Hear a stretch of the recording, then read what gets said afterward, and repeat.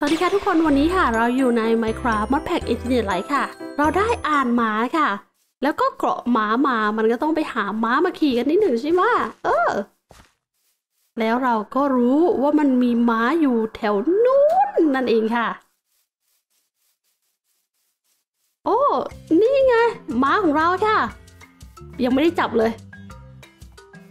จับหน่อยสิโอ้โหเดี๋ยวนะเฮ้ยม้า ลือดเยอะได้ขนาดนี้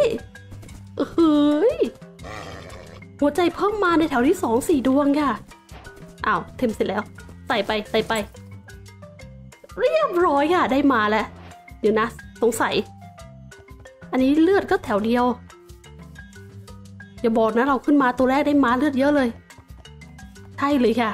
ดวงดีได้มาเลือดเยอะ ได้มาแล้วดีดีค่ะ ก็ขี่ถือว่าเร็วนะใช้ได้เลยค่ะ โดดข้ามได้ไหมจืดเฮ้ยโดดได้ มาสามารถโดดข้ามประตูความสูงสองบล็อกได้ ต้องเล็งให้แม่นๆนิดนึงค่ะจืดเอ้ยไม่ได้แฮะเอาใหม่ยืนอยู่ตรงนี้ชาร์จเข้าไปเอ้ไม่ได้ไอ้ได้ ก็คือต้องชาร์จพลังให้เต็มค่ะ โดดให้สูงนั่นแหละ อุปกรณ์ของเรามันยังไม่ดีใช่ไหมคะ มันต้อง modify เพิ่มค่ะ มี redstone มีเพชร มี emerald ค่ะ มา modify หน่อยสิ เหลือ1 modify แล้วก็1 modify ค่ะ ใส่เข้าไป ลองใส่ emerald ความคงทนเพิ่มขึ้นมะ เพิ่มขึ้นนิดหนึ่งค่ะ จัดไปเลยแล้วกัน แล้วก็ดาบค่ะ ใส่ Emerald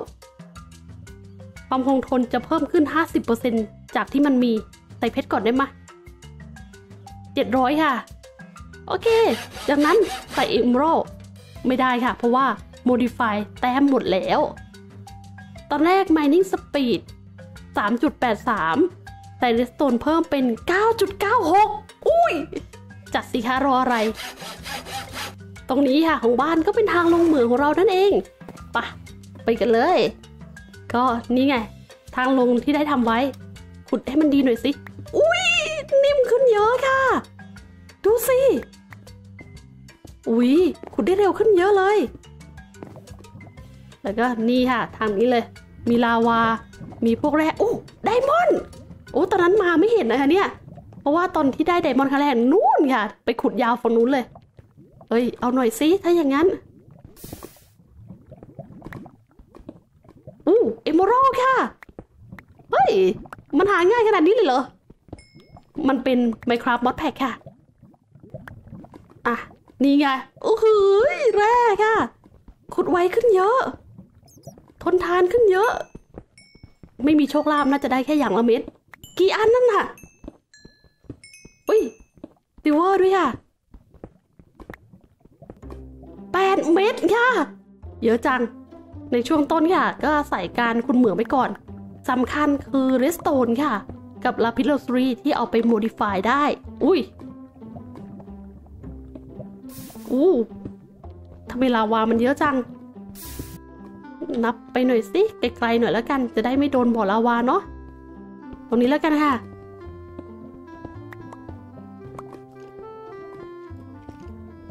อุ้ย ของเขานี่ ไม่ว่าที่ไหนก็มีแต่ลาวาหรือ อุ้ยนี่ไง silver ค่ะ แร่เงิน มันเนียนมาก แทบมองไม่ออกว่าเป็นแร่ นี่ redstone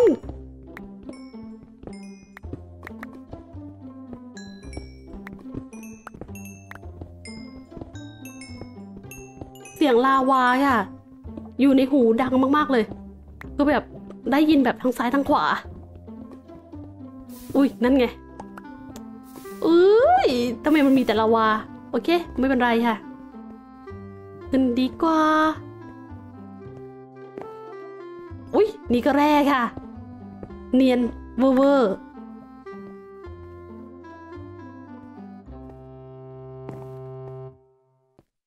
ยังเป็นทางขึ้นทางลงเหมืองที่แสนรันทด ต้องค่อยๆ กระโดดขึ้นไป เรามาทำ quest กันต่อดีกว่าค่ะ ในตอนนี้เนาะก็เป็น quest ของบทที่หนึ่งค่ะ บทแรก เราจะทำ quest ในส่วนของตรงนี้ค่ะ ก็คือ ระบบการจัดเก็บ item ค่ะ ที่เป็นระเบียบนั่นเอง drawer แล้วเราก็มาที่โต๊ะ craft โอเค อย่างแรกขอให้เรา craft เป็นกล่อง drawer ค่ะ หรือว่ากล่องเก็บของนั่นเอง ไม่ยาก เอาสีอะไรดี อยากได้เป็นสีขาว จัดมาค่ะ เขาให้เราครับกล่องเดียวเราครับเลยสิบกล่องค่ะ เอาไว้ก่อน แล้วเราก็ต้องมีกระดาษกับสลามบอลโอเค สลามบอลมีค่ะ กระดาษมี ครับเลยจืดแบบนี้ แล้วก็แบบนี้ได้เป็นเทปค่ะกล่องนี้เราก็วางค่ะ แล้วเนี่ยเห็นไหมมันจุของได้ค่ะ มุมบนซ้ายจะเป็นตัวบอกว่าตอนนี้นะเรามีไม้หนึ่งสแต็กค่ะ จุสูงสุดได้ 32 สแต็ก แล้วถ้าเราต้องการย้ายกล่องค่ะ โอเค เนี่ยเห็นไหมมันไม้ร่วงออกมา แต่ถ้าเรามีเทปค่ะ จืดดีพันด้วยเทปก่อน แล้วปุดเลยค่ะ นี่เห็นว่าไม่มีอะไรร่วงมาค่ะ ก็คือการมีเทปอยู่จะทำให้เราสามารถย้ายของในกล่องโดยที่ของไม่ร่วงออกมานั่นเอง รับหนึ่งตัวควบคุมค่ะ ตัวควบคุม drawer เอาไว้ควบคุมกล่องเก็บของแล้วก็ controller slave ค่ะ ก็ทำหน้าที่เหมือนตัวควบคุมค่ะ แต่ว่าเป็นตัวควบคุมในรูปแบบของการ copy ตัวควบคุมนั่นเอง ในทองอ้ายมีอยู่ ใช้ชีวิตอยู่ด้วยการขโมยของจากชาวบ้านนี่มันดีดีค่ะ จัดมา อ้า เรียบร้อยแล้ว แล้วเราก็วาง controller มาเลยค่ะ ตามด้วย drawer ค่ะ เอาเป็นสองชั้นแล้วกัน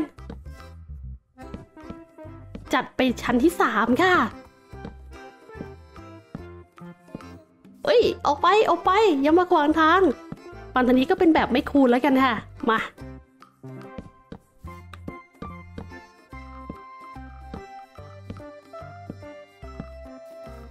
เคค่ะ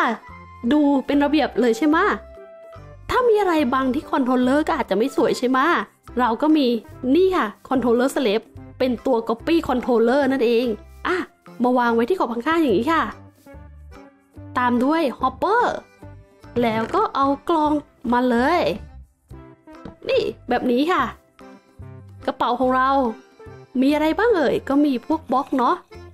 ดูด item เข้ามาสิอ่าเต็มแล้วค่ะ มา ใส่เข้าไป นี่ item ค่ะก็จะมาอยู่ในนี้ แล้วก็จะถูกดูดค่ะถูกส่งเข้ามาอยู่ในกล่องเก็บของนั่นเอง อ่า มันจะเป็นระเบียบอะ เราไม่สนใจนายหรอกนะ เราได้ยินเสียงครูนายนะ เอ้ย มี item เฮ้ย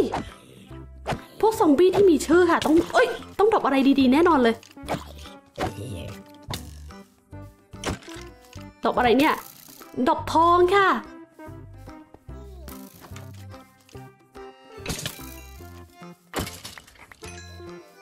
เอามาเลยนี่ฆ่า monster ได้ทอง มีชื่อไหมไม่มีค่ะ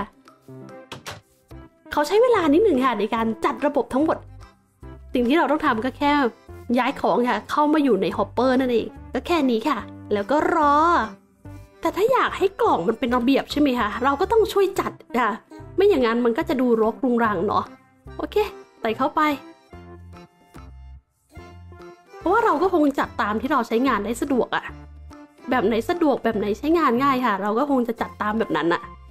ถ้าเราต้องมานั่งช่วยเขาจัดค่ะ อะไรอย่างเงี้ย มันก็เป็นระบบเก็บของที่ดูยุ่งยากนะ เพราะว่ามันมีของค่ะในมอสอะมันมีเยอะมากเลย เราก็เลยคิดว่าโอเค ใส่ใส่ไปก่อนดีกว่าค่ะ แล้วอยากจะให้อะไรอยู่ตรงไหนยังไงอะ เดี๋ยวเราค่อยมาจัดให้มันเป็นระบบระเบียบเนาะแต่ทีนี้พวกของสำคัญค่ะที่ใช้บ่อยอะ่ะ มันก็ต้องแยกประเภทไว้สักนิดหนึ่งก่อน เพชรก็ตรงนี้เลยแล้วกัน ทอง เหล็กค่ะ จัดเฉพาะของที่จำเป็น ของที่ไม่จำเป็นก็ ปล่อยปล่อยไปเรสโตนโคค่ะ แล้วก็ชาโคอะนี่แหละ ใช้บ่อยที่สุดแล้วคือพวกเนี้ย มันไม่มีระบบค้นหาไอเทมค่ะ ก็คือถ้าเราต้องการที่จะค้นหา item เนี่ยเรามากดที่ตรงนี้ไม่ได้นะ เราต้องไล่มองดูค่ะว่ามันมีอะไรอยู่ตรงไหน ซึ่งมันลำบากมากๆใช่ไหมแต่แน่นอนค่ะ ในอนาคตมันก็จะมี mod อย่างอื่นค่ะ ที่ช่วยทำให้เราสามารถค้นหา item ที่อยู่ในกล่องพวกนี้ได้ง่ายขึ้นนั่นเอง แต่ตอนนี้ค่ะอยู่ในยุคโบราณได้ขนาดนี้ก็ดีแล้วระบบการจัดเก็บของค่ะ เรียบร้อยแล้ว รับ quest เถอะ มีอะไรเอ่ย อัปเกรด โอเค แล้วก็ กล่องเก็บของค่ะเป็นรางวัล แล้วก็กล่องเก็บของ ได้ตัวอัปเกรดมาค่ะ ขอยืมกล่องสักหนึ่งกล่อง วางกล่องตรงนี้แล้วอัปเกรดให้เป็น copper นี่ค่ะ เป็นไง ได้เป็นกล่อง copper มาละ แต่ทีนี้ค่ะ มันไม่ได้มีแค่นั้นไง มันมีระดับเหล็กระดับ gold ระดับ diamond ระดับ copper แล้วก็ระดับ silver ค่ะ ระดับคริสตัล แล้วก็มี obsidian chest ด้วย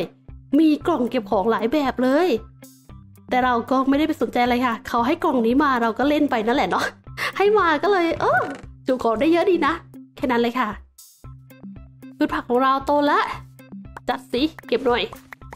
อย่างน้อยจะได้เติมอาหารเข้ามาในกระเป๋าเข้ามาในกล่องของเราค่ะ ให้มันแบบฟูนั่นเอง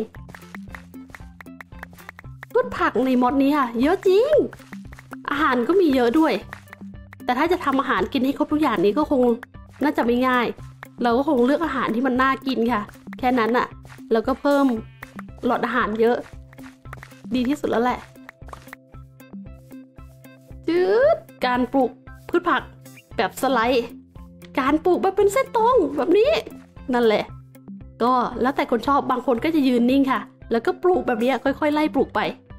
ก็มีเหมือนกัน สไตล์การปลูกผัก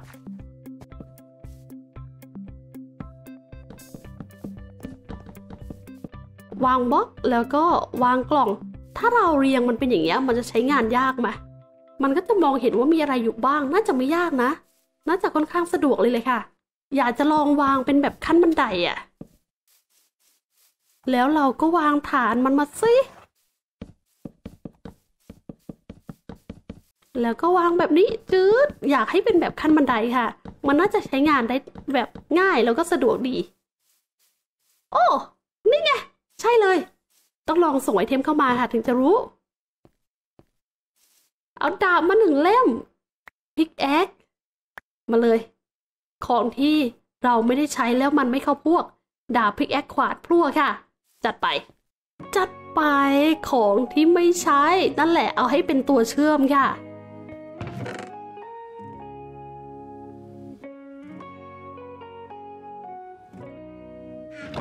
ส่วนที่เหลือของที่เราใช้งานก็จะมาถูกจัดเรียงอยู่ด้านหน้านี้อ้อดีดี ส่วนกล่องพวกนี้ค่ะก็ยังมีข้าวของเหลืออยู่เนาะ อันไหนที่เราใช้ประจำหยิบออกมาเลยก็ได้ ได้เวลารื้อค่ะ ใช้ประจำเอาใส่ไว้ในนี้ โอเค ที่เหลือน่าจะไม่มีอะไรสำคัญแล้วแหละ โอ้ยสมุดอินชาร์เอาออกดีกว่าค่ะ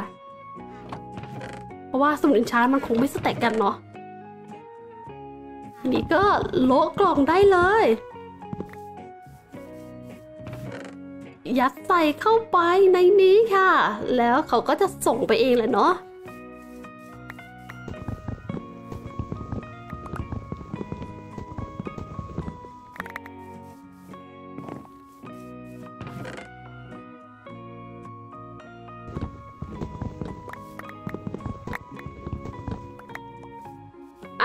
กล่องนี้ค่ะ copper ไว้นี่เลย